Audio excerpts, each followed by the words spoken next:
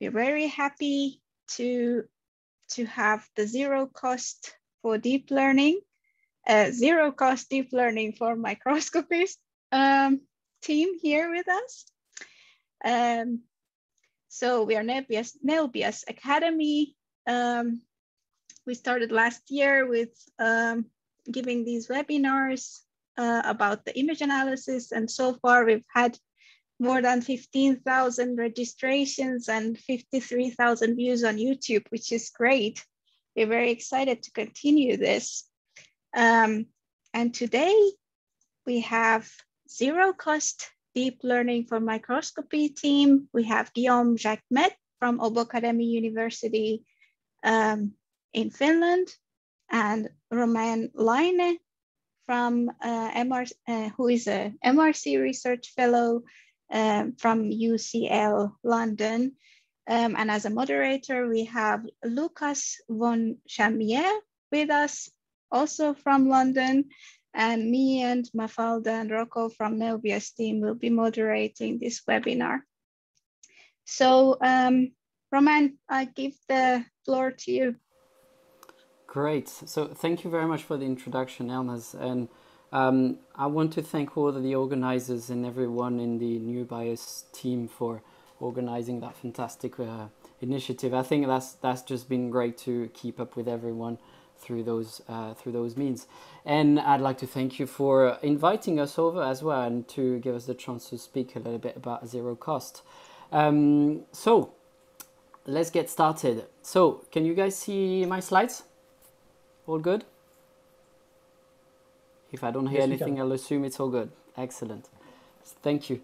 So zero cost deep learning for MIC essentially is a platform that intends to uh, make available deep learning for microscopy and to make it available in a hassle-free way, right? Without requiring any uh, programming skills and or even computational power. And I'll introduce this to you very shortly. Um, but I'd like to start by showing you a couple of um, a couple of uh, context to this, a little bit of context to this. And um, as a lot of you might have seen, in recent years, there's been a huge boom in uh, the number of papers and publications, both from the bioimaging com uh, community as well as the computer science community, in uh, developing and using deep learning for image analysis, ranging from image segmentation, denoising, and quite a wide range of tasks and showing really quite promising uh, levels of performance. Um, but I would like to give you just a very brief introduction to uh, what I think was a deep learning revolution in the recent years and where that, um, that kind of revolution kind of came about. Because in fact, deep learning and the idea of neural network is, um, is actually very old. It's not a, it's not a recent idea. It's, it comes back from from the 50s, back in the days where computers would take a whole room full of electronic e equipment. But at that time, it remained only a, a sort of mathematical oddity because no one could really optimize those neural networks. And that's only uh, back in the 80s and in the early 2000s with invention of backpropagation algorithm and the development and the availability of GPU technologies that make actually that made actually neural network and deep learning uh, practical and practically feasible. And um, from then on, actually, that's in 2012 through the um, presentation of the so-called AlexNet network uh, um, that really showed in the context of image classification, right? Given a specific image, um, let's get an algorithm that actually identifies what's in this image, and you, you can imagine many applications for this, of course. Um, and so this AlexNet um, work back in 2012 was the first one to show convolutional neural network massively outperforming many other, uh, many other approaches. And that's when the attention was really driven to deep learning in terms of image and computer vision. Um, and so then in 2015, uh, a new architecture came about um, called U-Net that actually made uh, beyond, beyond the idea of just image classification that made deep learning very suitable for image analysis, going from an image to another image. And in particular here, the authors demonstrated that it's really powerful for image segmentation as demonstrated on electron microscopy data as you can see here. And the rest is effectively history, right? In the recent years and since 2018, there's been a, an absolute enormous development and of, of neural networks and availability and platforms and so on. And what I'm showing you here is only just a very small subset of what's um, actually been created by a fantastic community. Um, but what really is the fuss about deep learning? And um, for this, it's important to remember that for classical algorithms, um, the effort is actually put onto the design of mathematical functions that will perform a specific task. So here in this case, on the left, I show you a noisy image that needs to be denoised, and that's the kind of, on the right, that's the kind of target we're trying to aim at.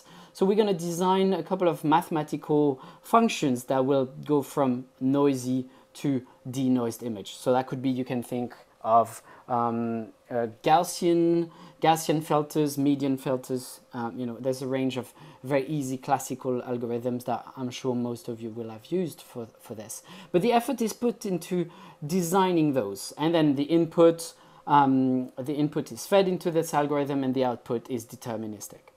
In the case of deep learning, the approach is really quite turned upside down because in this case, we actually start from the data itself. So we prepare typically a bunch of paired data, a bunch of input data, and the equivalent output data, where actually um, the input represents what we intend to feed into the network, and the output being what we intend to recover from the network. And in, at, that, at that stage, what we do is we actually feed those input and output into uh, a, a neural network that will therefore learn and tune its own parameters in order to be able to provide eventually a function that will actually be able to uh, transform the inputs into the outputs as faithfully as possible. And so that's the training stage, and you see that really is the essential step for deep learning for um, obtaining a model that is performant. And then once this training is, is finalized, we can now obtain a trained model where the parameters are actually fixed and then feeding a new image now leads to an output that is um, performing the tasks that we intended for, for that neural network. In this particular case, we actually can obtain the equivalent denoised image from the, um, from the input image. And so um, you see that what's really important in the case of deep learning is the training step. And in fact, it is all about the training or the performance and even the task that is performed by the neural network really depends on the training. And what's really important to know about a training is that training leads to a form of embedding of structural priors within, um, within the function that is built within the neural network, within the model. And so um, I like to actually um, demonstrate or, or, showcase this from a very elegant example from uh, W. Murner's paper from last year, uh, where they actually built um, a couple of uh, neural network models that, that are capable of, of uh, recovering from sparse sampling images, right, such as here, of very, very simple structures, square, round, rectangles, and triangles. And they build neural networks that try to recover the initial underlying ground truth structure from those sparsely sampled images. And so what they elegantly showed is that if you take a neural network, but you only train it on rectangles, it will only have ever seen rectangles. So it will see and think that they are rectangles all over the shop, right? So it finds rectangles even when um, the underlying structure truly is a, a, a, a square or a, um, or a circle or a triangle. And that's obviously suboptimal. And similarly, if you train it only on triangle, it will find triangles. So what this means is that the training data set needs to contain all of the representative or the important shapes that will be observed um, in the data subsequently. So in this case, if you train a neural network on all four shapes, then disregarding of what was uh, fed into um, the sparse sampled image, sparsely sampled image, it recovers the appropriate images or the appropriate substructures. So the, the take-home message from this slide is that it really is essential to train neural networks on your own data. So training is essential. Um, and so if we go back to, to this slide for a second, um, what's great about neural network is that um, it can approximate pretty much any transforms provided it can learn it. And so I've shown you here uh, an example of denoising task starting from a noisy image and ending up from a denoised equivalent. But in fact, you could feed any equivalent image, and if you find enough um, enough um, enough data within your, the training data to, to, to learn that transform, it will learn it. And it can also massively outperform classical algorithms for a wide range of tasks, and that's also really quite important for, uh, for bioimage analysis. And so those are good things about deep learning, right? It's performant and it can also be fast. But uh, what's less good about it is that um, deep learning actually needs um, quite a, a, high level of expert computational skills and still today requires um, a lot of um, maybe programming skills and um, quite adventure in needs us to be quite adventurous in how to set up uh, deep learning architectures. Um, and also quite importantly is the training step really requires high computational powers and in particular um, the access to GPUs for those, uh, for those training sessions to actually complete within reasonable times. And so those are actually um, hurdles towards the use of deep learning for the, bio, for the bioimage community and the, the biomedical research uh, community as well. So that's actually um, what, what we've seen as um, really a difficulty towards using deep learning. And so I'd like to show this image, which is the, uh, a picture of Michael Hopkins, uh, uh an ISS uh, astronaut uh, who's, who's performing some basic maintenance on the ISS. And so that's a range of computer, computer hardware and software um, handling that is actually quite not trivial at all. And so I, I kind of like to uh, compare that to training a neural network in some cases, where it, which really requires um, a difficult combination of handling of hardware and software. So um, hence um, we wanted to build a platform that would make all of those things a lot easier. And so hence our platform Zero Cost DL4 Mic. So it all starts from your computer and your computer does not need to have any specific computational power. Um, all you need to have is the data that you will um, wish to use as training data as well as the new data that you then therefore need to, um, to process through your newly trained model. And so the, um, the platform actually outsources all the heavy duty computational um, expense to the cloud by using a range of uh, resources made available by, by Google, and in particular Google Drive and Google Colab. And so by uploading all of this data, all of this, um, all of the computational power is only required on the cloud and therefore is not um, on your own machine. What we provide, therefore, within this platform is a range of notebooks, which are basically um, essentially um, a, um, a, range of um, methods that, that contain user interfaces and that contains all the individual parameters uh, that the user needs to think about and set in order to uh, set a training session going. And so this enables the communication between Google Drive and Google Colab um, and therefore the use of GPUs that are made available in Google Colab. And so all of those, um, that interaction between the now on the cloud data and the notebook and Colab makes the network training um, occur all the way on the cloud. But we've also incorporated the important step of validation, and I'll get back to this a little bit later on, um, which allows the users to validate and explore the performance of a particular model on um, validation data set and also to run predictions. So that means from the trained and validated model to be able to use that specific model directly on the cloud to process the new data and to obtain, say, as I shown you before, the denoise data from the noisy images. And the final step is, of course, to recover down to the user's machine the trained model for further use and the results from um, the predictions obtained in step number four. And so you see again that all of this is performed in the cloud, and therefore um, uh, zero cost, the, the platform essentially provides a range of advantages, one of which is it's actually completely free. And the access to uh, GPUs are made available for free via, via Google Colab. Um, and we're taking advantage of this. Um, it's, we've also built a simple user interface that requires therefore no coding and that's therefore very accessible to the wider uh, biomedical research community. And um, quite importantly, it's a single platform that performs both well training, prediction, and quality control through that validation step, and that also builds trust with respect to uh, the use of um, models uh, built by uh, deep learning in this case. Um, and so all of this is performed in the cloud and takes the shape essentially of just um, a web page, and so it only requires web browsers, and so that that makes it also very versatile. And we'll take a look at that when we get around to taking a look at the demo.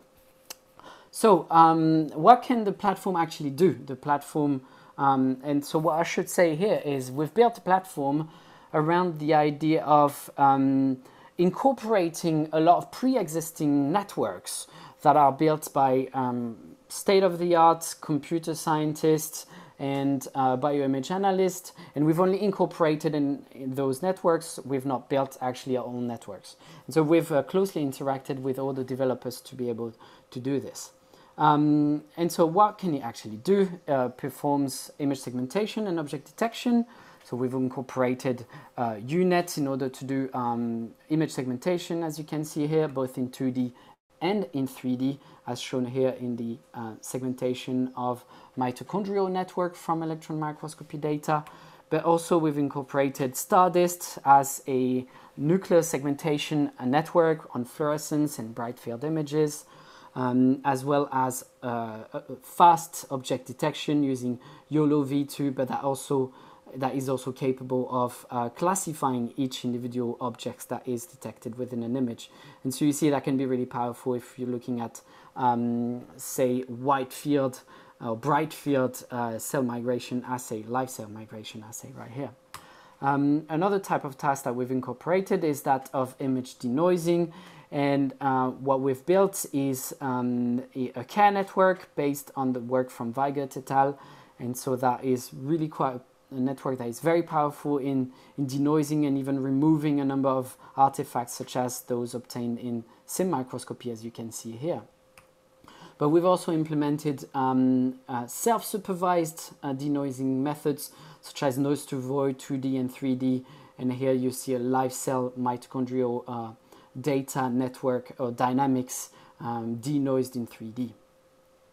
Um, and another type of task that we've also implemented is um, uh, something that is very quite exciting to me is image to image translation. And the idea is, is um, to actually feed uh, the network with, um, for instance, bright field images as input and fluorescence images as output. And so what this means is that now the neural network learns to predict uh, a pseudo-fluorescence output purely based on the bright field images. And that's something that would be extremely difficult with classical algorithms. And so we've implemented the Ounkomol et al. um, approach right here, but as well we've, we've uh, implemented methods based on, on GAN, on GAN architectures such as here Pix2Pix um, networks. And so Pix2Pix here in this case allowed us to predict um, fake nuclear signal, say DAPI signal, purely from an actin label um, signal. And Guillaume will show you a little bit more data on this later on. Um, so, but the, but the bottom line is you can do all of this, but uh, if you cannot trust the model to give you something that is robust and reliable, what is the point? So can you trust your model? And so we've incorporated the validation step, as I've mentioned to you. Um, and let me just introduce you to a couple of concepts that we've incorporated within the platform. So imagine you've got a source image and you want to denoise it and you obtain this prediction.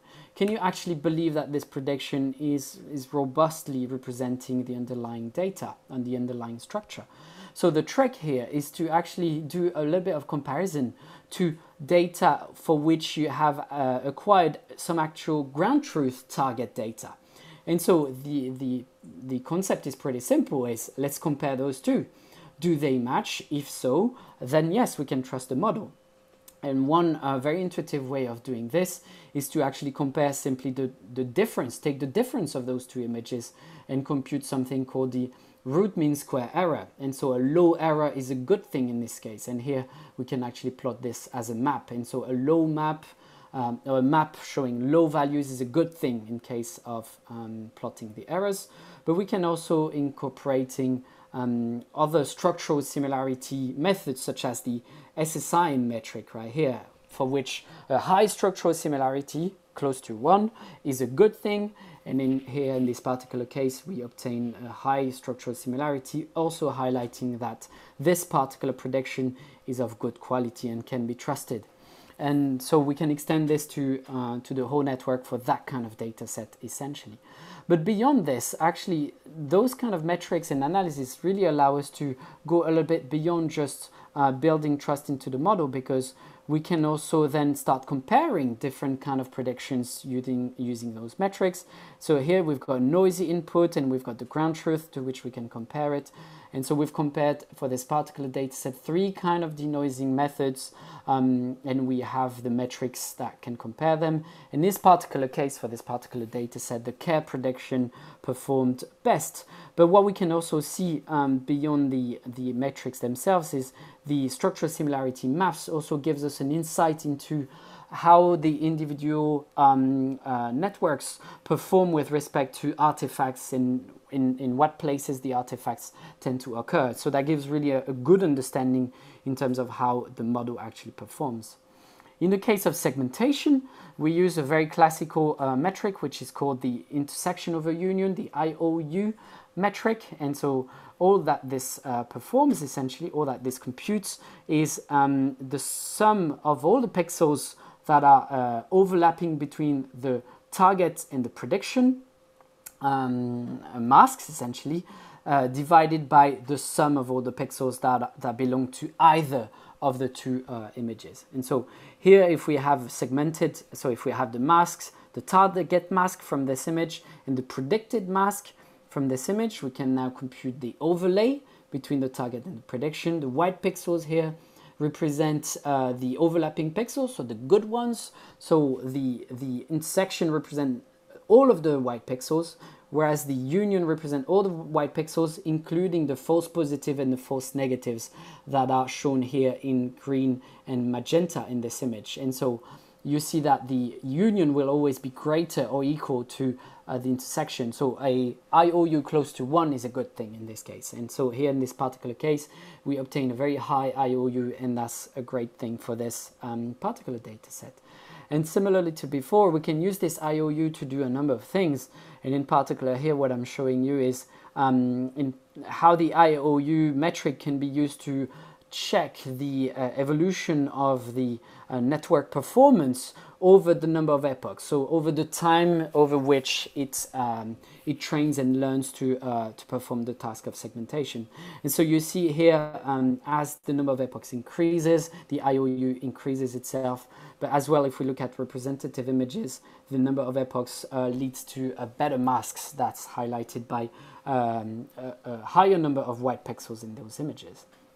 And similarly to before, we can also use the IOU to compare a range of different uh, segmentation approaches. And here in this particular case, again for this particular data set, we found that uh, looking at the metrics, the IOU metric here, that the nuclei is a general nuclei uh, model actually performed best in this particular case. But you can uh, think of using that kind of approach um, on a range of different uh, data set and on a range of different networks. Um, so the deep the zero cost doesn't live um, on its own. It belongs um, to a wide range, uh, to a wider community, to the deep learning bioimage ecosystem and talks to a range of different uh, other communities and in particular interfaces quite heavily with the CSBDeep team um, for which we actually at zero cost can provide a training engine, for instance, for, mod for networks like CARE, Noise to Void, and deconoising. Similarly, for StarDist 2D and 3D, Zero Cost can, can provide uh, an efficient training engine for those networks. Um, and those two guys then therefore start talking to uh, Fiji quite um, quite efficiently through their respective plugins. Um, but ZeroCost also interfaces uh, with the DeepImageJ community as well, for which we also um, provide a training engine for a number of, of networks, UNet 2D and 3D, as well as DeepStorm. And DeepImageJ, of course, is implemented within uh, Fiji in this case. Um, and um, we also can integrate zero-cost DL4Mic within larger image analysis pipelines, such as interfacing with TrackMate. And here again, um, Guillaume will show you a little bit more data on, on how this can be done.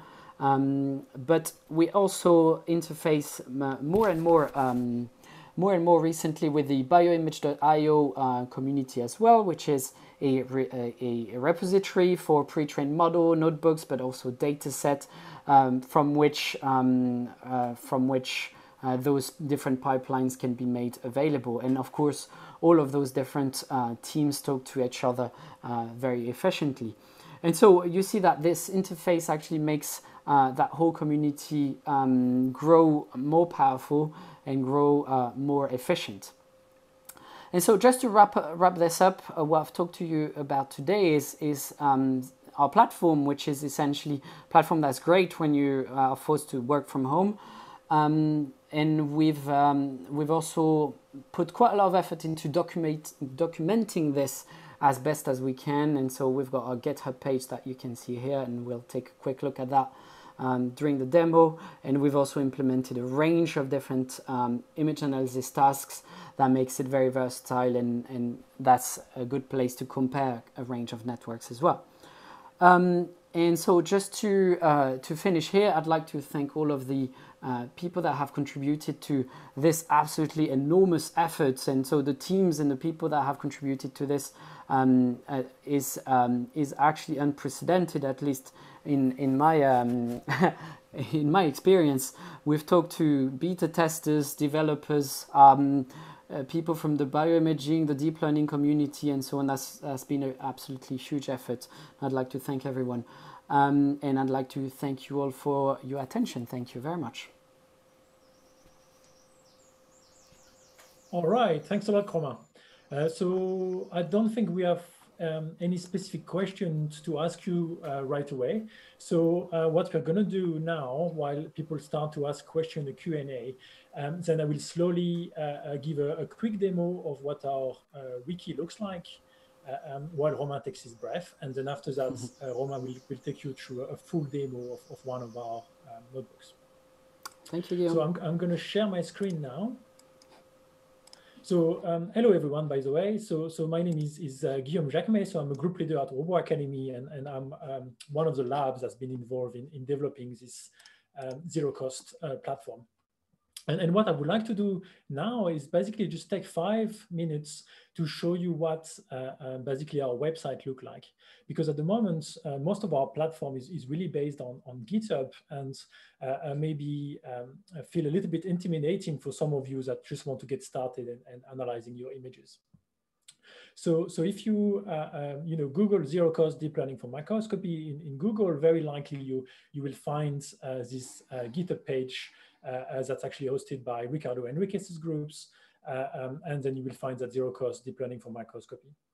And as with many GitHub pages, you will first see, uh, um, you know, the code and, and so on, and, and then a quick uh, explanation of what it is all about. Um, importantly, you will also see here uh, quite a lot of uh, video material for to help you get started using the platform. Uh, you will see talks that, that Romain and others have, have given for the past few months uh, but also video tutorial on how to use the platform. So it's a really good place also for you to, to get started if you want to start using uh, the platform. And then we will, of course, also put the, the NEUBIAS talks when it's available on, on YouTube uh, here as well. Uh, but what I just wanted to show you is that uh, here on, on the GitHub page, then you can uh, click on our wiki, and that's where most of the exciting stuff actually is. Um, and in our wiki, uh, we, uh, as Romain said during his talk, we, we try to put quite a lot of efforts in kind of uh, adding documentation to, to help people get started with the platform as quickly as possible. And, and you will see here on, on the side of the wiki, we have a lot of kind of documentation. We have step-by-step -step guides. uh, we have tip and tricks, and then specific section dedicated to some of the things that Romain will, will explain during his presentation on data augmentation and, and so on. Uh, and, and we also have detailed description on, on some of the networks that are available through the platform. Um, but if you scroll down, uh, then here is basically where you will see all the different uh, deep learning networks that are available through our platform. And, and, our platform is really a collection of Jupyter notebooks that can be run through Google Colab to do specific tasks. Uh, and that's where basically most of the useful information can be found is what kind of deep learning networks that, that others have, have created, what can they be used for, or what have they been shown to be used for. Uh, um, and then if you want to start uh, using them, then you can uh, uh, basically right click here. So for instance, an example for StarDist 2D, you can right click here to open it directly in Google Colab and then you will have it that uh, now opens in a different tab. So, so um, I will not show you uh, too much uh, the notebooks because uh, that's uh, what Romain will do now. Um, but one thing that I just wanted to highlight is uh, one of the things that we worked really hard on is to try to make sure that the platform was as similar as possible for the different deep learning notebooks that we provide. So, so for instance, if you open StarDist uh, 2D or, or, noise to void 2D, so one which you will maybe use to do uh, a segmentation, especially of, of nuclei, and one that will be for denoising. So the overall structures of the notebook is exactly the same. Uh, you will have, of course, information and code that is dedicated to those different uh, um, uh, notebooks. Um, but, but hopefully, if once you've learned how to use one of those notebooks, you should be very quickly able to, to move to a different deep learning task, which hopefully will, will um, be really useful when you start to want to, to use deep learning for a wide range of bioimage analysis. Um, so um, yeah, so this is a very brief introduction. So, so um, once you kind of reach our GitHub, then don't be uh, alarmed by, by the, the main GitHub page. Uh, uh, travel to the, to the wiki page uh, where you will find a lot of information and videos on how to get started and uh, um, some uh, links to access the various notebooks. So on that, that was my brief introduction of, of our GitHub, and then I will leave now Romain to, to go through one of our notebooks so that you get an idea on actually uh, what you need to do if you want to, to use them. Cool. Thank you, Guillaume. Um, so I will now share my screen again. Um, what we'll be doing today as a very quick demo uh, will be to do a little bit of image segmentation of nuclei using StarDist 2D. And so as Guillaume just showed you, here's the wiki page from our GitHub. Um, and then starting a notebook in a Colab session is as easy as opening that um, Colab um, that Colab widget right here, and so what which will open. Um, there you go, a web page in Colab um, on StarDist. There you go, and so yours might look um, might look slightly different. I've used the sleek a dark background version of this because it, because I find it easier to, to see.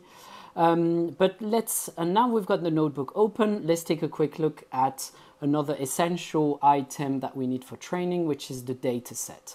Um, so in the uh, chat, you can see that we've shared um, a link as well to a Zenodo page from which you can download representative data um, which is the data that we've used um, and demonstrated uh, our StarDist notebook in our paper, but it's completely made available for you to uh, get started on uh, playing with this notebook. And so all that data is, is essentially a set of, um, of data, a set of paired data, I should say, right, from which we have equivalent um, initial images. So here they're fluorescence, fluorescence images, of, uh, of nuclei uh, that you can see right here, and the equivalent segmented images um, that are uh, that correspond to that particular image. And so we've got these pairs for a range of data, which you can see right here. And so by downloading this, you now have a little bit of training data set. Um, what I'm trying to highlight to you right here is um, that this um, burden of building the training data set typically is on the user and the emphasis should really be put on uh, how to build and curate the training data set for any deep learning model to work uh, properly or as intended. Okay, so I've already uploaded that data set to my Google Drive, uh, so we can simply go ahead with um, taking a look at the Stardist notebook.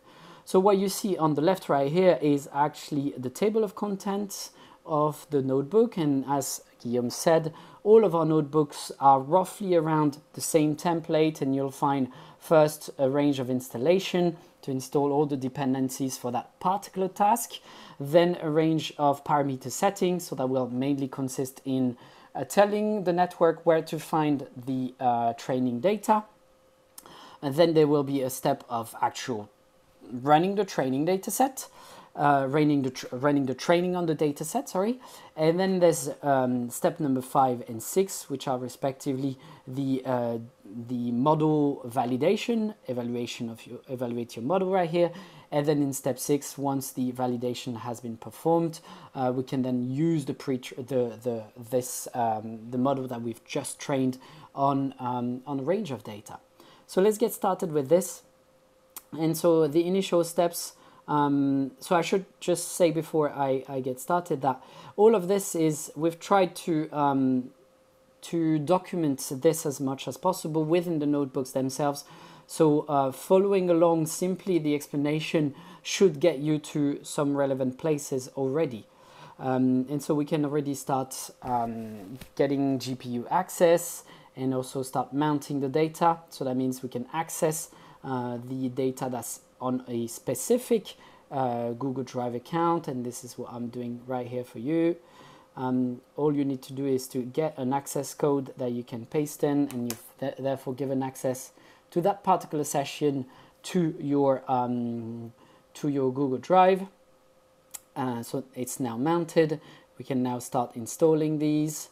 Um, and so while the installation is performed let me show you on the left how the Google Drive is now accessible within that session and what you'll find right here is all sorts of data that's available. That's essentially a copy of my um, of my entire Google Drive, um, and so I'll just be going into the folders where I've copied that Stardist 2D data.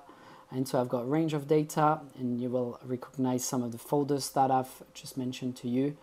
Um, and so if I now open this, you see that the data I've just shown you in Fiji is also there now, right? Um, so let's finish the installation. Um, there's a second step to this that allows everything to be um, to be set properly and that loads uh, all the key dependencies and then we're good to go. So now again, let's get to the uh, stage of setting the, um, the parameters. And so if we open the folder that's relevant for me, um, I've got training images, the images and the masks are in those two different folders. I can now input them into, um, into uh, the, the user interface right here. Let's give the name, uh, let's give the model a name. I, like to put the, the date of today, 15, uh, Stardist model 1, um, and then model path, I will tell it to save um, to save the um, the model into a folder that I've created already previously, which is called models. Um, and then we'll run a few fewer number of epochs than than initially than than set by default. We'll run it just for 10 epochs in the interest of time in this case, right? And so all the other inputs are essentially um, uh, more subtle parameters for um, for setting the, the networks, and we're not going to talk about this today in the interest of time um, because the default parameters already um, work pretty well. So we've now loaded the, the data set, source and targets are available right here. We've got access to data augmentation. We'll, um, I'll initially not do any data augmentation, um, but in, on the other hand, we'll also load a pre-trained network, right, which is available from the um, from the Stardist, um, from the Stardist repository directly, uh, made available by the original authors of that network. So we'll use this as a pre-trained model. That's a way to essentially widely speed up uh, the um, the training speeds because it instead of starting completely from scratch, it starts from a model that's already been trained on a range of data.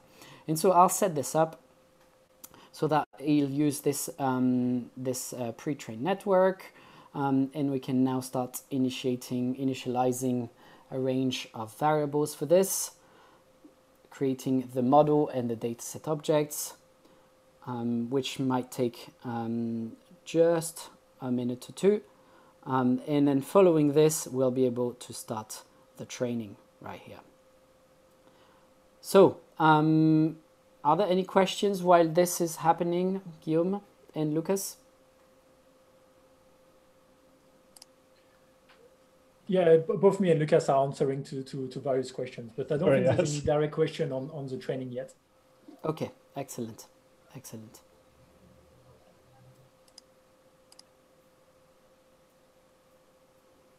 So this might take um, a little bit of time just to load um, the individual data sets. So what we have right here is quite a, a, a large number of, of images as you see right here that we've manually created or I should say Guillaume has manually created for this um, and that has, um, that has made this uh, quite a powerful training data set for what we're going to try to do today.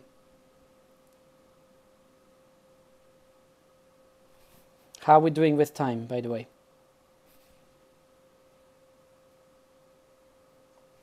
We are also fine with time, Romain. So we have another good 15 minutes for the demo. For this demo? Yeah. Okay, brilliant.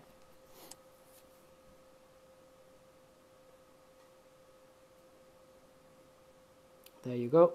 So the time that it took right here is essentially to um, to sift through the data and load a, a range of um, range load the relevant data set to RAM and that takes a little bit of time uh, due to data transfer.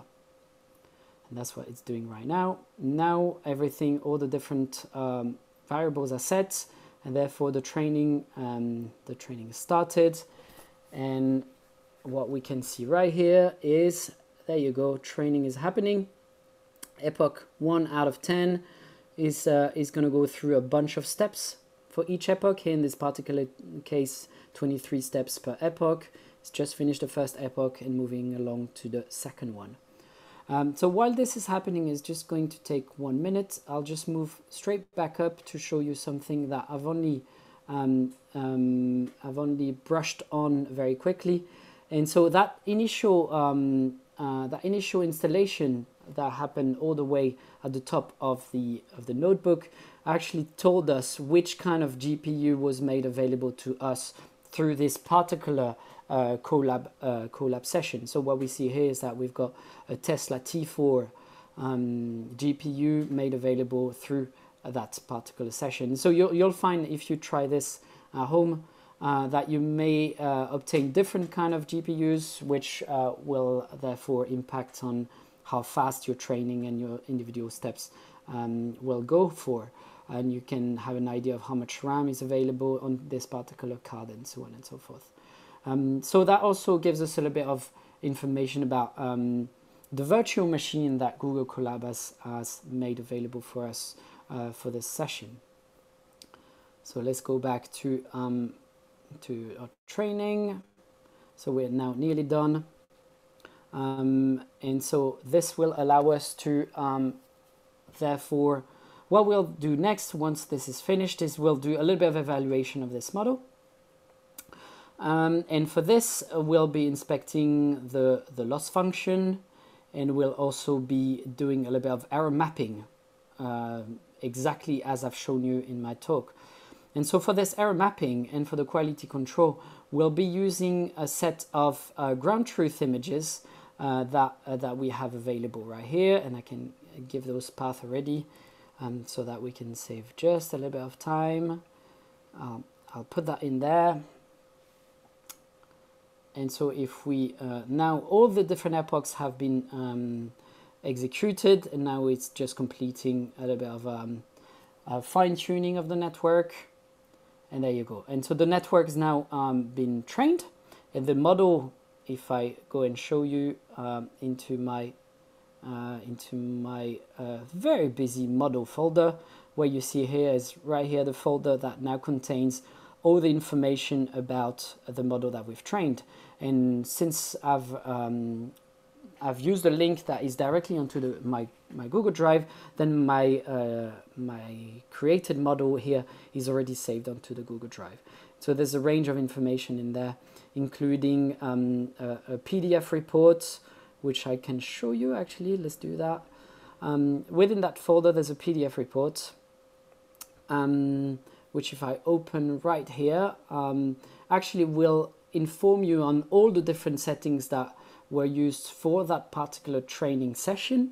So that'll include all the parameters that were set, but also a range of information about um, the different versions of the different important uh, libraries that were used, uh, also the location of the different training data set, right? And so that's quite important to keep track of what's, what's happened for each individual models.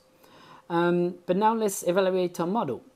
So let's run this. So we told it to just um, evaluate the current model.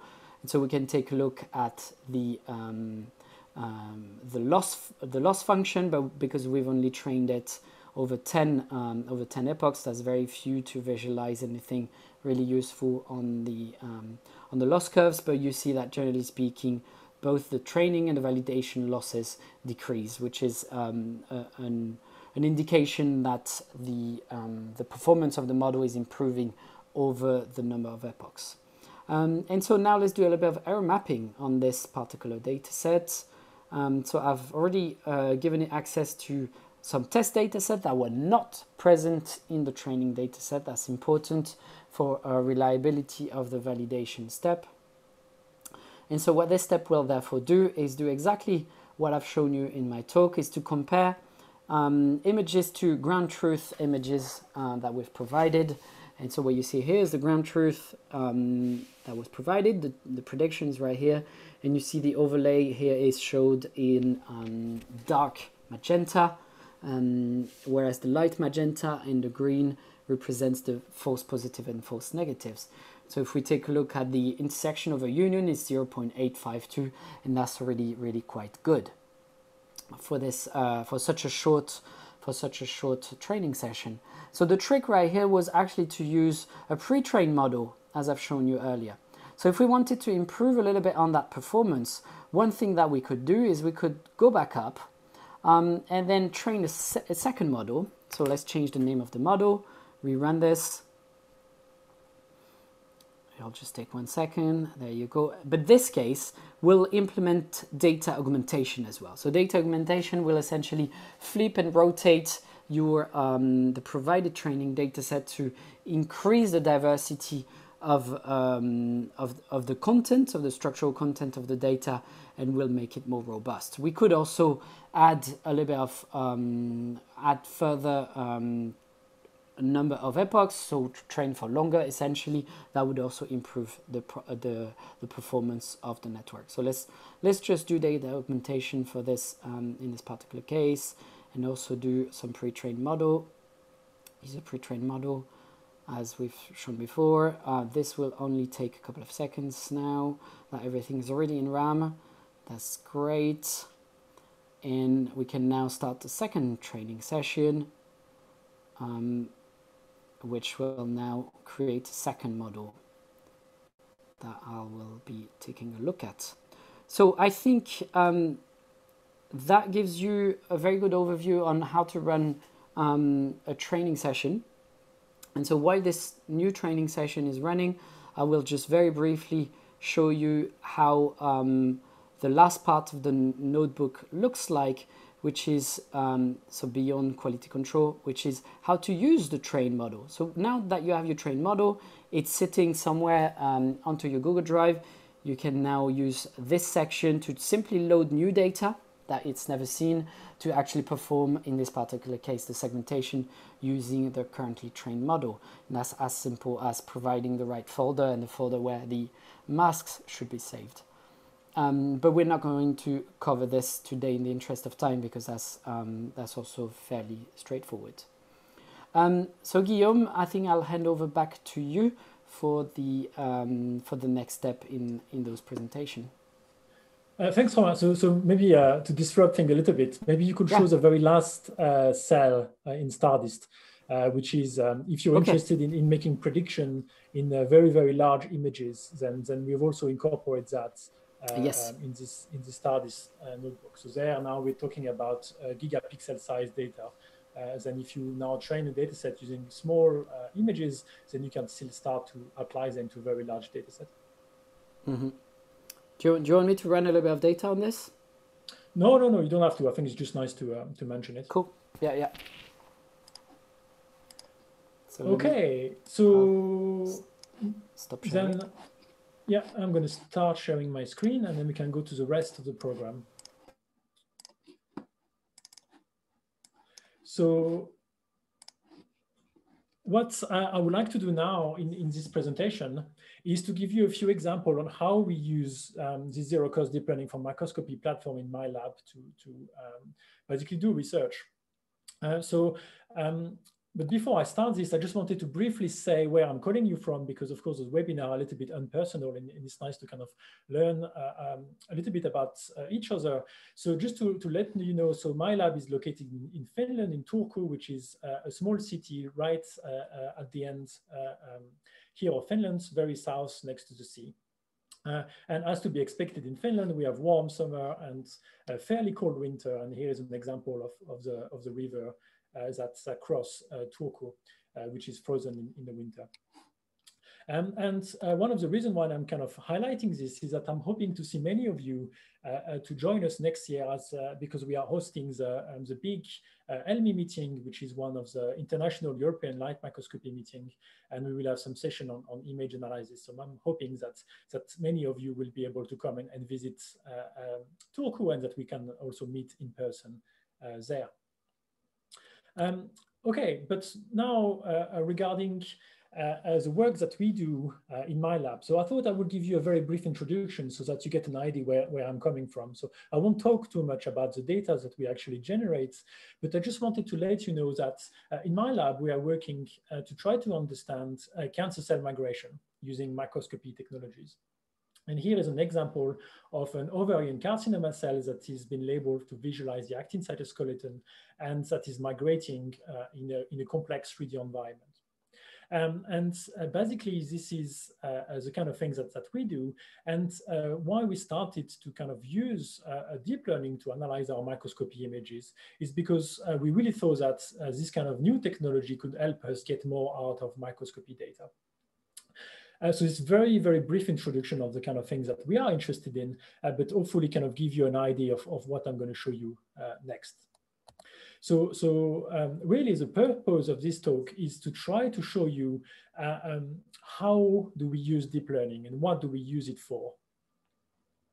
Um, and um, because of this, then I thought it would be nice to kind of give a little bit of a, overview of what can you actually use deep learning for. And if you think about it, you can actually use deep learning for almost any kind of uh, um, image analysis task now. So there's many different uh, deep learning networks that have been published to do a lot of things like object detection, segmentation, uh, um, image classification, and, and so on. Um, and uh, example that I want to show you here during these talks, that some of the things that we are using in my lab for research are uh, example of segmentation. We do a little bit of deep learning enabled image registration, image restoration and denoising, and image to image translation. Um, so I just want to kind of uh, go through a few of those examples to give you a flavor of, of how we use a zero cost platform to, to do research. Um, and the first example I want to talk about is denoising. And so why do we care about denoising? Well, we mostly care about denoising because um, it's very important to use denoising to try to improve live cell imaging. So I've shown you earlier on a movie of a migrating cell, and um, you, you probably know that uh, when we use fluorescent microscopy, that lasers are very toxic for cells. So, so you need to use low laser power in order to image a sample, otherwise you will influence uh, what cells do, and, and you might even kill the cells. You also know that if you start using fluorescent microscopy in living sample, you need to have uh, molecules that are proteins and, and so on that are fluorescently tagged to be able to see them. And, and very often you can uh, do that, especially for, for protein, by expressing your protein of interest. And if you express it uh, uh, at too high level so that you can see it better, then very often that will affect the biology. So, so if you overexpress a molecule of interest, you might affect the, the behavior of, of the protein. So, so it's in your interest to use very low or endogenous expression level of what you want to look for. And, and if you do those two things together, uh, then you will almost always uh, get noisy images, which means that it's important to kind of have technologies that you can use to try to restore your images and, and remove most of the noise to only get uh, the data that you want to have. Um, and so here is an example on, on some of our early days on using uh, uh deep learning for denoising using the fantastic tool uh, uh, developed by et al., which is noise to void, uh, that um, enable to, to do some denoising of microscopy data. Um, and, and here, what you're looking at are some of our noisy images. Um, so here, we are looking at a cancer cell that expressing a molecule called paxillin, which forms those plaque in the cells. And but here, paxillin has been endogenously, endogenously tagged. So we are looking at the endogenous molecules. We are also imaging cells on, on hydrogels, so we are not on a cover slip, so, so the imaging is a bit more complicated. And because of this, our images are, are quite noisy. So there we, we've been using noise to void to, to really try to denoise the data as much as we could and to better observe the structures of the cells here is making to, to attach to its environment. And for us, in this case, this was really important because what we really wanted to do it was to, to, to understand uh, how is the cells exerting, uh, using those structures, forces on this environment. So, so we were combining this live imaging using uh, high resolution traction force microscopy to understand how the cell is interacting with the environment. Um, so, so here I just want to, I, am not going to go into any details. It's just to, to showcase on how we can now using this kind of technology to, to better understand uh, processes in, in living uh, sample. Um, another, uh, um, so, so you, you may realize, so as part of the um, uh, um, zero cost deep learning for microscopy, we now provide uh, three different uh, denoising uh, deep learning networks. So, so one is, is CARE, um, one is noise to void that I've just introduced, and the other one, which is we've recently made a notebook for, which is deconoising. Uh, but here in this slide, I just wanted to re-emphasize some of the things that, that Romain presented in his talk, is that because now in this platform, we, we have different tools uh, that, that can perform the denoising and learn how to design microscopy images in a different way, then it's, it's really useful to, to use a quality control metrics to try to identify the best denoising strategy for your data. And, and the other thing that I want to highlight here is that uh, um, deep learning is not the only way that you can denoise data. There's a lot of other algorithms that have been uh, um, developed over the years to, to denoise data. And it's always good uh, to, to also compare uh, uh, how well those denoising uh, data or denoising algorithm compare against deep learning. So, so um, avoid the deep learning hypes, always do a sanity check and, and is really deep, deep learning or the, the techniques that you're using, is it really the most optimal for what you want to do? So here's an example of, of using Pure Denoise, which is a, a Fiji plugin that's uh, quite good at denoising data. And, here you can see in that particular example, uh, care is, is, performing the best on this data set.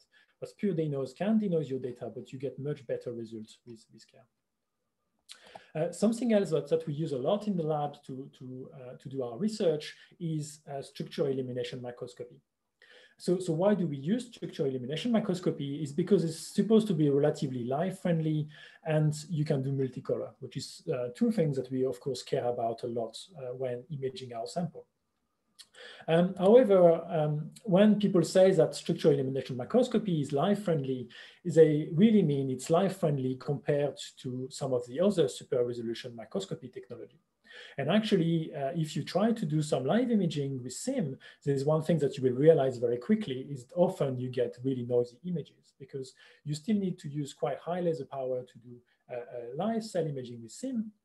Uh, uh, which means that uh, especially if you use red fluorescent proteins, you will either get, you will either kill your cells quickly or bleach your sample, or then you need to use low laser power to to, to prevent this, which means that you get noisy images. So here's an example of breast cancer cells uh, and to look at the actin at cell-cell junction in between cancer cells. And you can see that our live imaging here is quite noisy. But using care, uh, uh, using care implemented in zero cost, we can really try to improve the quality of our microscopy images. So here I can play the movie and, and then hopefully you can really appreciate that uh, um, we can get nice data using the sim uh, on those really dynamic process, uh, but we can also uh, using uh, after that uh, care implemented in zero cost to, to really improve the quality of those microscopy images.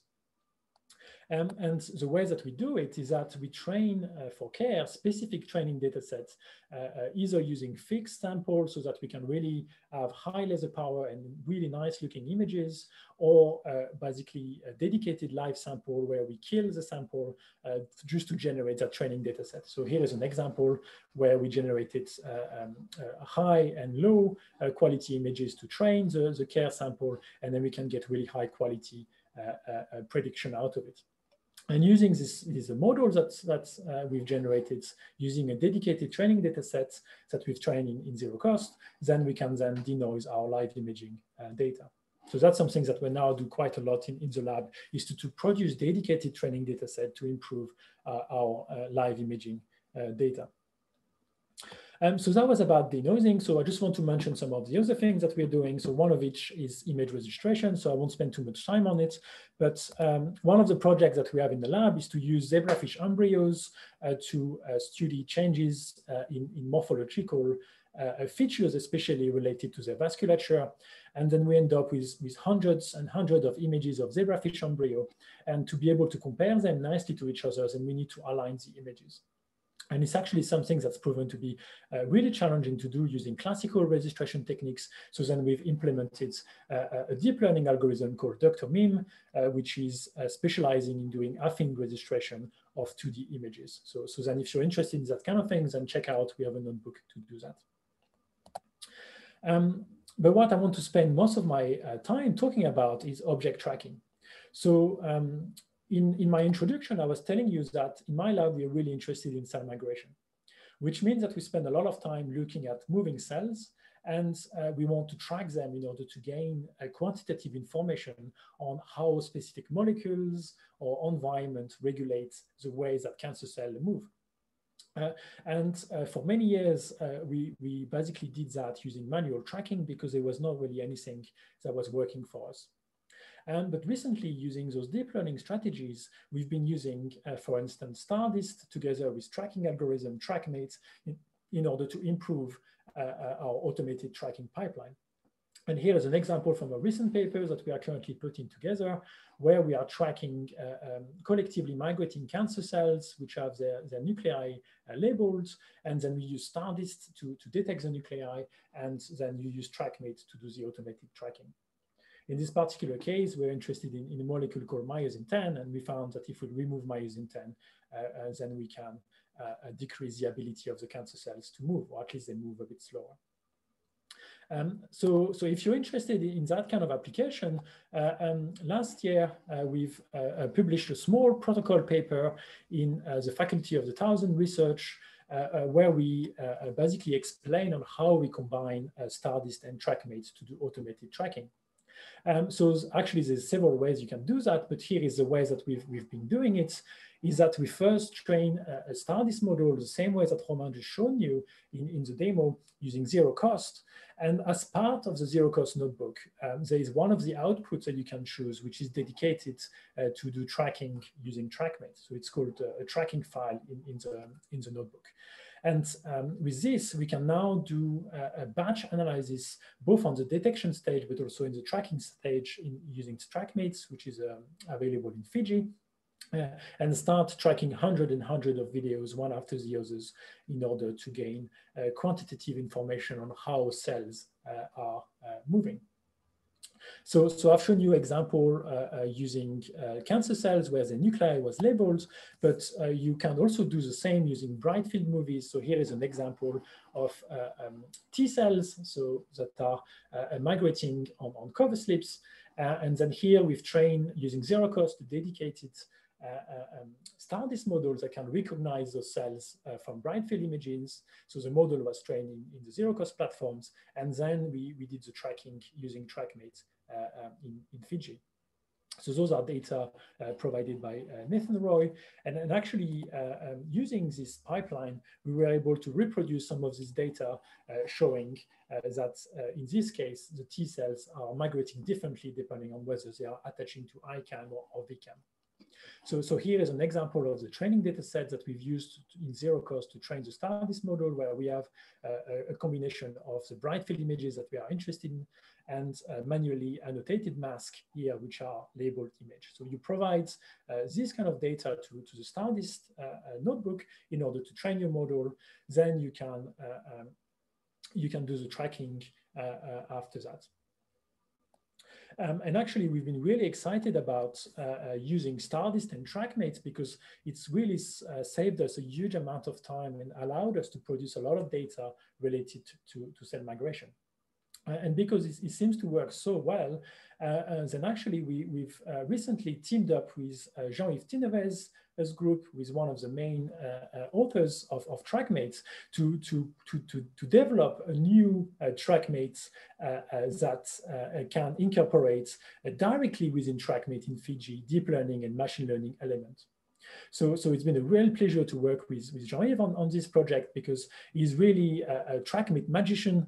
So, so he's been able to, to implement a lot of different things that will be coming out soon uh, uh, in TrackMate in Fiji. Um, so um, basically, among the new things that you will be able to do is that uh, Jean-Yves introduced in the new version of TrackMate that will be released soon, then you will be able to do tracking directly uh, from uh, um, Ilastik projects, from Weka. So if you have uh, data that can be directly segmented using a Weka model, then you will be able to, to, to do that directly in TrackMate you can use StarDist directly within TrackMate to, to do the detection and then TrackMate takes on uh, as a tracking. You can also use uh, StarDist custom models. So for instance, if you want to train it using zero cost deep learning for microscopy, then you can import that directly into, into TrackMate in order to do uh, your tracking directly into Fiji. Uh, TrackMate will be able also to, uh, um, to take and do tracking directly from labeled image uh, um, in order to, to do the tracking of instance segmentation results. So for instance, results acquired using CellPose or EmbedSeg or any of those other deep learning strategy that uh, produce labeled image. Um, so, so there's a lot of different type of inputs can now will now be available in TrackMate, uh, which is really exciting, at least for, for us. Um, so then you will be able to, to track cells, track different objects. You will, of course, be able to do lineage tracing and, and so on. But what's also really exciting is that now in the new TrackMate, you will be able to follow changes of the shape over time, uh, which, which allow us to do a lot of different uh, uh, new kind of analysis of our migration data. You can also, of course, follow changes of intensity with those regions of interest over time, and I will show you an example of that. And then you can also do some 2D to 3D labels, uh, magics that I will show you in, in the future slide. Uh, so here is kind of what uh, the interface look like. Uh, so if you've used TrackMate before, you will know that in one of the steps, you need to choose what kind of detector you want to use to basically identify the object you want to track. And so now uh, here are some examples. You will have access to a StarDist detector or an Ilastik detector uh, uh, or label image detector. So, so uh, this new version of TrackMate that, that Jean-Yves' groups and, and, us have been working on will really completely change how we can do tracking directly in, in Fiji. Um, so here, just some example of, of, biological application on how this can be useful and how you can combine uh, zero-cost deep learning for microscopy with, with TrackMates is that here we've trained uh, um, a deep learning model in zero cost to detect the nuclei here. So here you're looking at cancer cells that have been labeled both the nuclei, but they also express uh, um, an ERK activity reporter. So it's a, it's a fluorescent uh, uh, molecules that when it goes to the nucleus, then you know that ERK, which is an important kinase, gets activated. Um, and we can use a StarDist integrated in TrackMate to identify those nuclei, and then we can track over time the changes of intensity of the ERK reporter in the nucleus. All of this directly into the, the new version of TrackMate. And then, of course, you can track the cells at the same time. So this is kind of what uh, the video looks like. By eyes, you will not be able to see many changes in the ERK video. And you can see that the TrackMate here is able to, to track the cells very, very nicely. But then, uh, because uh, it's all about extracting quantitative data from those movies, um, we are able to, to get information on the changes of ERK activity in the nucleus of the TRAC cells over time, and to correlate that or not to the ability of cells to move at this time. So, so here is a heat map where each of the lane is a different cell. And then the changes in color highlight the changes of ERK activity in this particular cell. So, so for instance, in these cells, and the ERK activity at the beginning of the movie was really low, and then suddenly you get a peak of activation of ERK in these cells and, and so on. So with, with these abilities now to follow shape and intensity over time in, in, tra in, uh, in TrackMate, you can really gain a lot of different type of information in, in your tracking experiment, which is for us very exciting. Um, as I said, uh, the new version of TrackMate will be able to, to track directly labeled image uh, uh, so for instance, now if you want to use CellPose, uh, uh, which is a very popular uh, um, cell segmentation algorithm, which is based on, on, deep learning, then you could, for instance, use our zero-cost deep learning for microscopy CellPose notebook to predict your cells and then you download the labeled image and then you can input that directly into TrackMate to, to track those cells over time. And then we have a function in our zero cost deep learning for microscopy notebook to do just that. So, so here is an example where you have collectively migrating cancer cells, where you have the actin and the, the nuclei labeled. Here is the predictions uh, uh, made by CellPose. So those were done in the zero cost deep learning for microscopy CellPose notebook. So we didn't retrain the, the, the network here. We just use uh, the, the um, Cyto2 uh, model uh, uh, provided by the CellPose authors. And then we've used this labeled image here directly into TrackMate to do the tracking. Um, so, so here is an example using CellPose, but you can, of course, imagine that you can use any other kind of, of instant segmentation strategies that will give you a labeled image. So think SplineDist, which is also very good for segmentation or EmbedSeg. Um, and so the last thing I wanted to highlight regarding this, this new TrackMate is that now you will be able to, uh, uh, uh, because the, the, shapes are stored during the tracking, you can now use uh, TrackMates to uh, um, track objects in 2D and then track them in order to generate 3D label. So here you have a, a 3D rendering of a, of a of cancer cell going in 3D. Uh, um, and then you can see that you have nuclei uh, uh, everywhere. And that what we did is that we used StarDist 2D in TrackMate to identify the nuclei at each Z planes.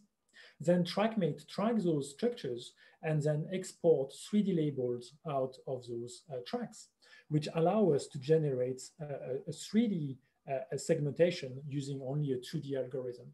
And this is really uh, uh, uh, nice because training 3D algorithms is really challenging because you need to annotate the data also in 3D, which is really time consuming. So now using uh, a TrackMate, you can use a 2D segmentation algorithm, track the segmentation over your Z stacks in order to reconstruct 3D labels, which uh, really can accelerate the way that we do 3D uh, annotations. So, so here I just want to, to acknowledge the fantastic TrackMate team, which is uh, led by uh, Jean-Yves Tinevez in the Pasteur Institute in, in Paris. Uh, so Joanna uh, uh, in my lab has been uh, pushing this forwards, and then also there's of course other people in, involved in the project. And, and we don't yet have a release date for, for TrackMates version 7, which will contain all those new improvements, but hopefully it should be in the next couple of months. So, so um, stay tuned if you, if you are interested. Um, uh, so the last thing I wanted to, to uh, talk about uh, regarding the use of the zero-cost deep learning for microscopy platform is model chaining. And uh, before I start on this, I just wanted to highlight one of the technologies that Romain uh, talked about, which is uh, using image-to-image -image translation technology, for instance, using Pix2Pix. And that's basically predicting one image using another one. So here we have uh, images of actin, we have images of the nuclei, and then we can train Pix2Pix in this case to predict what the nucleus will look like based on the actin. And this is what the Pix2Pix prediction looks like on this particular data set. And you can see that the images are not only very realistic, which is uh, what Pix2Pix is really good at, but they're also fairly accurate. So the, the prediction are, are really good. So, so why do we care about this? Then I'll just give you an example from our ongoing research in the lab where we are interested to understand how cancer cells interact with endothelial cells. And here, in this particular context, uh, we are flowing cancer cells on top of a monolayer of endothelial cells. And what we are interested in, of course, is to try to understand how this is regulated. So, so uh, we basically just have this kind of raw data, which is low resolution bright field images where you see you have uh, endothelial cells at the background, flowing cancer cells, and then here you have some cancer cells that are attached. So what we currently do in the lab is that we uh, train first a STARDIST model in order to detect and specifically recognize only the cancer cells. And this worked really nicely.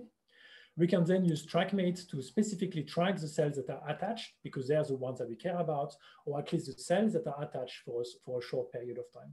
All the ones that are freely flowing on top, we're not so interested in. So by using tracking, we can only keep the cells now that are attached. So this is already pretty neat because we can now get a lot of quantitative information on, on this specific population of cancer cells just based on those bright field images. But using uh, um, image uh, translation algorithm, we can go even further. So here is again the same movies that I've just shown you. Um, then we can train a specific pix-to-pix uh, network in order to predict where the nuclei in all the cells present will be. And this is what kind of result we get, which is also really accurate. I'm not showing you the data here, but here is, is a fake image of where the nuclei will be on, in this particular movie. But you can also predict other places such as cell-cell junctions, which is one of the areas that we are really interested. So, so just from those bright field images, we can predict where the junctions are and where the nuclei are. Then we can use segmentation algorithms. So here uh, we use STARDIST to detect where all the nuclei, specifically of the endothelial cells are located. Here we use CellPose to detect where all the individual uh, uh, endothelial cells are located uh, to identify the junctions. And then we can put all of those things together in order to create our 8-bit video games where we can identify the nuclei of the endothelial cells, the junction of the endothelial cells, and then the attached cancer cells in this system. Just a prediction based on those uh, bright field data sets. And we are now uh, fine-tuning this pipeline in order to try to better understand how cancer cells are interacting with endothelial cells on the flow and, and what kind of parameters is, is regulating them. So if you have more question about this, I'm happy to, to chat about that later. Okay, so this is kind of all the application I wanted to, to, to mention. Uh, I just wanted to also highlight that the, our platform is always growing. So we currently have now 26 different notebooks to do a variety of, of tasks that are related to, to deep learning. I also want to say that we have uh, at least two to five new notebooks that should be released fairly soon in the coming months. So, so stay tuned. We'll have some exciting things that will be coming. And I also say that we are very interested in having people to contribute. So, so uh, if you're interested to, to generate your own zero cost deep learning notebooks, then don't hesitate to reach out. We have some guidelines regarding this. So, so don't hesitate to, to be in touch if that's something that you're interested uh, to, to contribute to. Um, don't hesitate also to reach out to us either via GitHub or the image.sc forum uh, if you have any questions and, and so on. Um, and so I will now just want to, to acknowledge the whole zero cost deep learning for microscopy team. So as Romain said, it's really been uh, uh um, a, a, kind of a joint effort from many researchers around the world that have been helping us in, into building this, this pipeline. And finally, I just want to acknowledge my labs. So I've shown uh, you some of their data, so data from Gauthier, Johanna, and then Suzanne. And I also say thank you to the funding bodies that support our, our work. And on this, I think I've taken a little bit too much time. So now I'm going to uh, stop here uh, um, and uh, hopefully answer the question you may have. And um, I'll let Romain carry on with the final demo if we still have time for that. Um, so there aren't any questions that need to be addressed quite immediately. Um, so we could um, use the remaining six, seven minutes to go through one um, final demo, notebook demo. What what do the organizers think? Yeah. Yeah, go ahead. I, I see some head nodding. Okay, cool. It, I'm I'm glad because that's that's a notebook I'm really excited about, and that will also address a, a range of issues that um, that Guillaume has also mentioned in his presentation, and is the issue of um, essentially um, uh, creating training data sets in uh, segmentation tasks, right? And so um, that actually, the notebook that I will be showing you leverages uh, a collaboration and, and the work from Wei Ouyang, um, and in particular his, his fantastic work on, on Kaibu, uh, which allows actually to bring the human into the training loop. And so let me show you in particular how this works uh, through the, this just one slide. So let's imagine you've got a data set that looks like this and you wish to actually segment all of this and you've got a very huge data set. So deep learning will be great for you. Um, but you still need to segment a, a, subset of this data set to provide a training data set uh, for, for the model. Um, so what you will do is you will then take an annotator and then start drawing things by hand, right? And that's exactly what um, Kaibu interface actually does. But what's really important is um, once you have um, already hand-drawn handful of little small patches of your data set, you can already start sending those data sets to, um, to a background trainer. And what I mean by that is, um, is a model that will train in the background uh, while you keep segmenting by hand. And so what happens is your little patch, will, will, which will take just seconds, a few seconds to, to segment, can be sent to the trainer. And that can be directly used to start a training session using ImJoy. Um, and um, while this is being trained, we now have access to a, a model that is tuned to that particular data set, admittedly on very few patches. So it will not perform very well initially, but will perform somewhat. So what this means is that we we now have a model that can be used to pre-segment any new small patches that you start labeling by hand. So what this means is we enter into a virtuous uh, cycle of uh, creating more segmented data sets as well as improving the quality of a small model that will uh, therefore um, perform better and better over time. So that means that within 10 15 minutes of manually segmenting a few things and then uh, using um, the, the model prediction to pre segment and then um, uh, improve on the segmentation that offered by the, um, by the segmentation model, then you can build a, a very strong data set pretty quickly. And so you see how um, you know, using the prediction and feeding that back into a user interface that can be analyzed by hand by the user is actually very powerful. So we now have the human and the machine working in parallel towards building a better data set and a better model. And so um, what this allowed us to do in particular is build data sets such as what um, Guillaume's just shown you earlier. And this, in fact, what I'm showing you right here is um, was also built through uh, the TrackMate uh, 3D extension to be able to do 2D to 3D trick. Um, but without further ado, let me just show you um, that notebook, and it's called Interactive Segmentation uh, Zero Cost Notebook, and it's also available from our wiki. And so I've already pre-installed things in the interest of time. Um, I will just load a little bit of, of data to be able to um, to show you just a very quick example of this. So Kaibu, I've got a little bit of data from a fantastic colleague um, right here called Chantal Robinet. Um, and she's got some, um, she's, she's happy to share with me um, some uh, neuroblastoma cells, neuroblastoma um, that were labeled for lamin. And so what we have here is a little bit of um, nucleus, nuclear images like this, right? So I've loaded that data set. It doesn't have any um, masks associated with it yet. Um, and so we can now uh, start giving a little bit more information in terms of where the model will be saved, that little model that trains in the background and similar to before. Um, let's give it uh, today's date, Kaibu, model one um, and let's and we can also use a pre-trained model in this particular case as well so let's let's prepare prepare model and let's start uh, the important part which is the uh, user interface which is what's coming up in just one second and as I was saying that user interface leverages um, both uh, the um, uh, Kaibu uh, both Kaibu and ImJoy, which are work from Wei Ouyang. Um, and so this work is in collaboration with him. Um, So we now have an, the user interface and we can actually full screen this, but let me just load first a small small patch. And so you see if I get um, a bit of images. Uh, this one is just the edge of a cell. You know we've got a handful of um, handful of nuclei in this particular patch.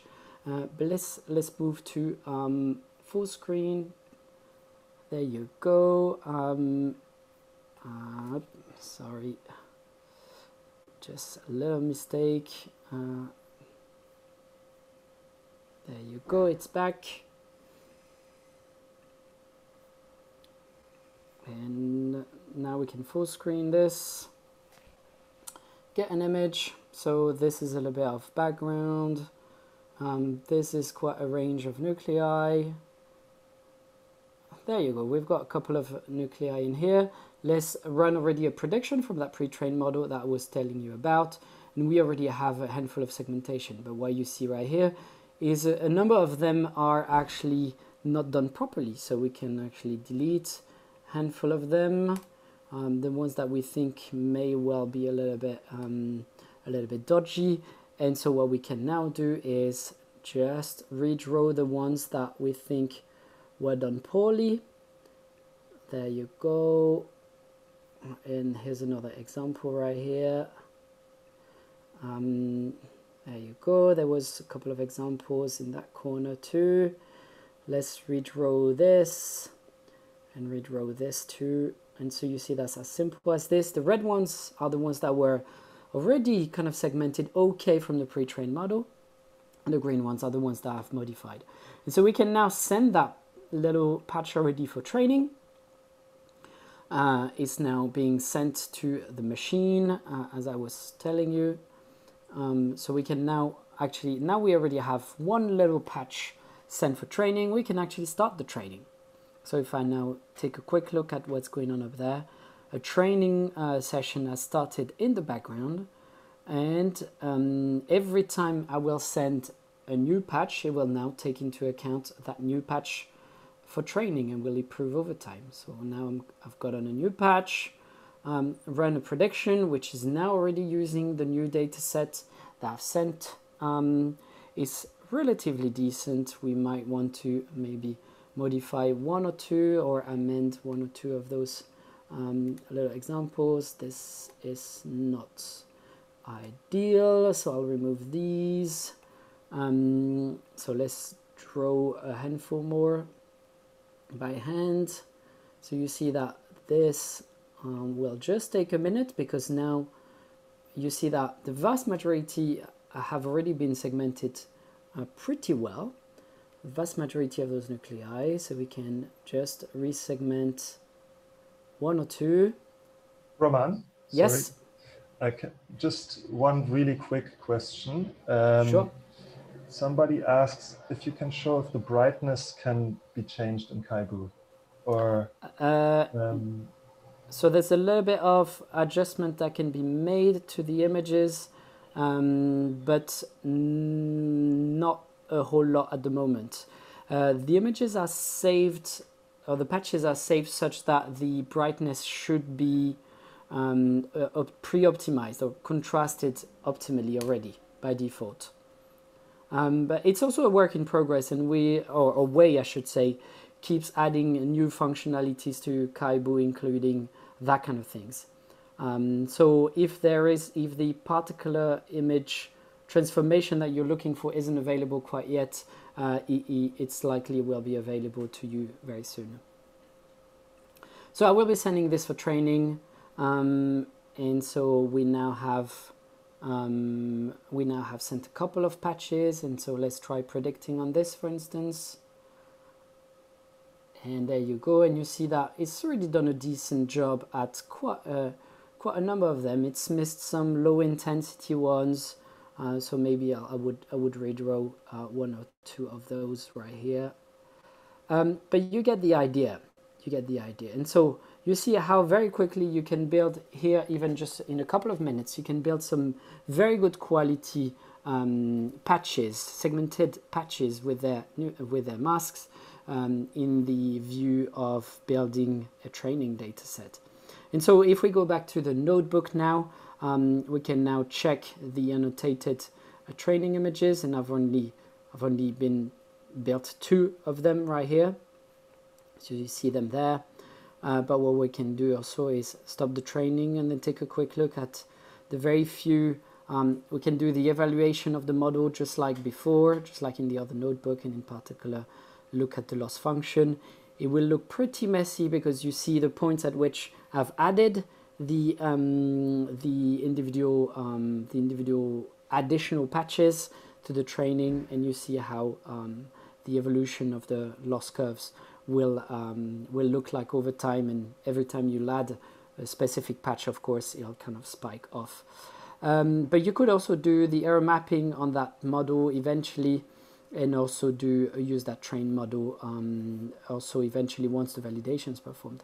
I should say that right here, uh, all of this is only um, working on CellPose models um, and, in, and we can use some of the uh, CellPose pre-trained models um, initially to start already running predictions even before any patches have been segmented.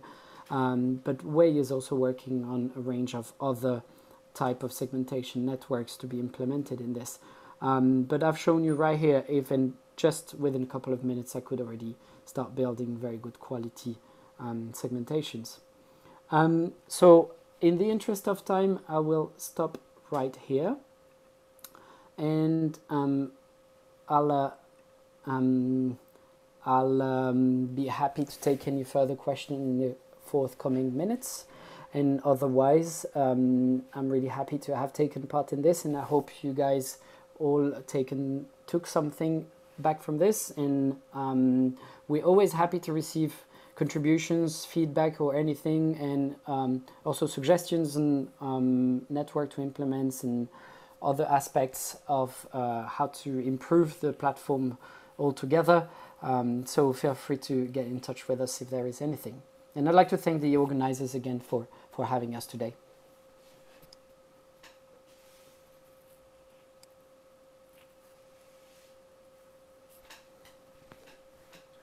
Yeah, I'll, I'll just echo Romain. So thanks a lot for, for inviting us. Um, and so I hope uh, also thank you for joining the webinar. I hope you've, you've uh, found it interesting. Don't hesitate to reach out. I think we're going to spend the next few minutes answering the, all the questions that are left. Uh, and, and, I also think that many of those answers will be put on the image.sc uh, uh, um, web pages. Um, so, so if, if you can't find an answer just yet, then, then bear with us. We will find uh, time to, to put it online later on. Thanks a lot, guys. This was very well structured and very nice and easy to follow. It was great. Thank you. Um, would you like to answer any of the questions live? I've not kept up with the um, questions in the last few minutes. So if do you, do you, guys did you guys see any burning questions that we could discuss live in the, the next five ten minutes?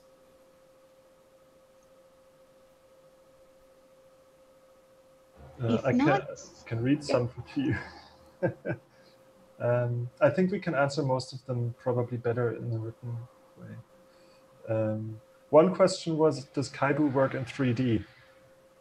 It doesn't yet, but um, using the trick that Guillaume described earlier of uh, linking Z-planes or segmented Z-planes uh, across, across the Z-axis uh, works really well, in fact. And the, the data set that I've shown you on the neuroblastoma was actually done this way.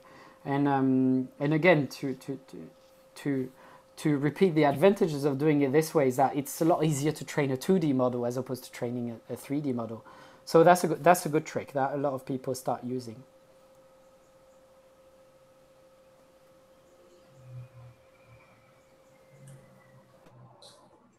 Okay. Yeah, I think you Thank you very much again. Answer the question in the in the chat.